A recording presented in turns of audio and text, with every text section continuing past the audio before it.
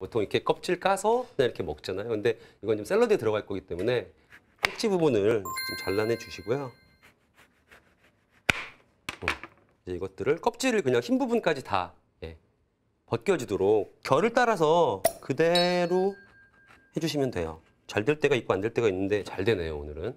그래서 이렇게 흰 부분들이 좀 이렇게 씁쓸하고 보기에도 별로 좋지 않잖아요. 그래서 이렇게 아래쪽은 들어가게. 크, 잘한다. 네, 해서 되게 쉬워 보이시죠? 어, 사실 고난이도에 네. 혼자 좀 살아봐야 할 수 있는 네, 기술입니다 이게. 자, 그래서 막들이 있거든요. 이것들을 이제 잘라내는 거예요. 막이 없도록.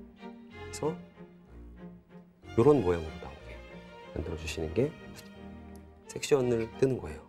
계속 똑같은 모양으로 해주시면 되거든요.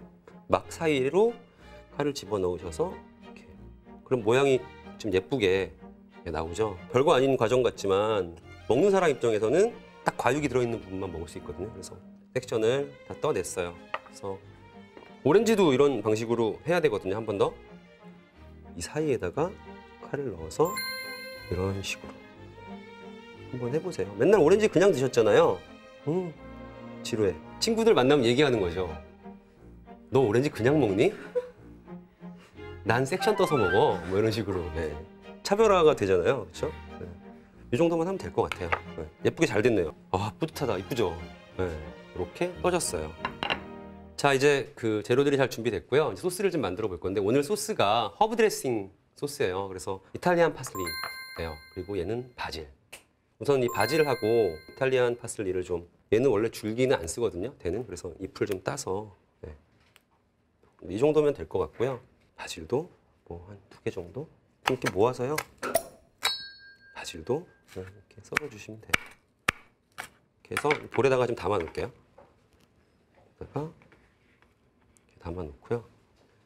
해바라기 오일을 해바라기 씨로 만든 오일은요 트립토판이라는 성분이 들어 있어요 신경을 안정시키는데 좋은 성분이라고 해요 그래서 스트레스 받았던 신경이 좀 안정되는 그런 효과가 있어요 이렇게 넣어 주시고요 그리고 쉐리 vinegar 쉐리라는 열매로 만든 붉은 식초인데 좀 짭짤한 느낌이 있다고 할까요 그래서 샐러드에 참 잘 어울리는 식초입니다 쉐리 식초를 두 스푼 네, 넣었어요. 꿀을 좀 넣을 건데요. 단 거 싫어하시는 분들은 뭐 조금만 넣으셔도 되고 한 큰술 정도만 넣을게요. 그냥 샐러드 자체의 맛이 좀 느껴지는 게 좋을 것 같아서 레몬즙은 뭐 그냥 이렇게 네. 소금 조금 넣고요. 많이 안 넣으셔도 될 것 같아요. 넣고 후추 드레싱이 될 허브 해바라기 오일 그리고 쉐리 식초 드레싱 네, 이렇게 만들어 놓으시면 돼요. 이제 관자하고 새우를 팬에다가 네, 익힐 거예요. 해바라기 오일로 네, 할게요. 그래서 새우하고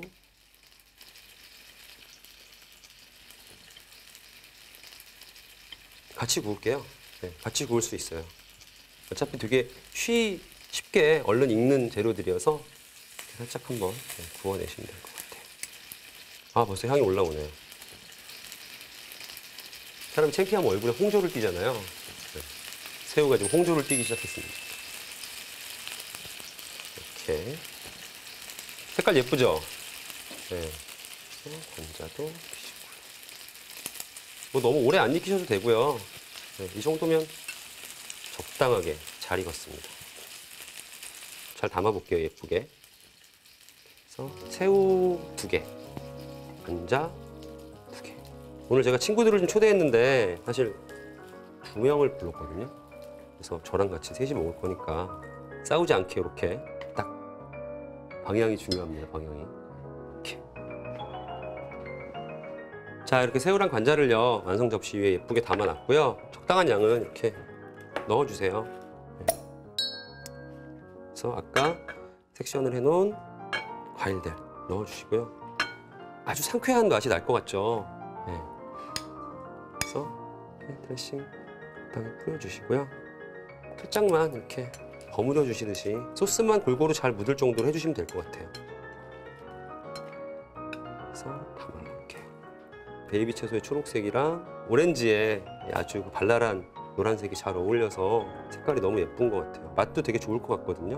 호박씨하고요, 해바라기씨. 마찬가지로 이 아이들도 트립토판이라는 성분들이 들어있어요. 견과류들이 몸에 되게 좋다고 하잖아요. 그래서 호박씨하고 해바라기씨 이렇게 마지막으로 뿌려주시면 샐러드도 완성이 됩니다. 친구들 오면 예, 맛있게 먹어볼게요.